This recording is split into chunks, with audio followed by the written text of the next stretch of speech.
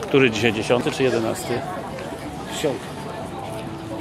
10 maja 2014 roku Festiwal Dobrego Piwa przy stadionie we Wrocławiu. Aleja Śląska. Aleja Śląska.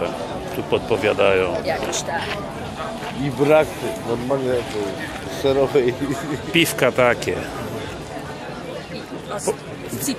Większości tych piwek nie znam. Filmuje Darek Kraśnicki z Wrocławia w towarzystwie przyjaciół. Ciągle jestem jeszcze trzeźwy. Wrocław, 10 maja 2014 rok.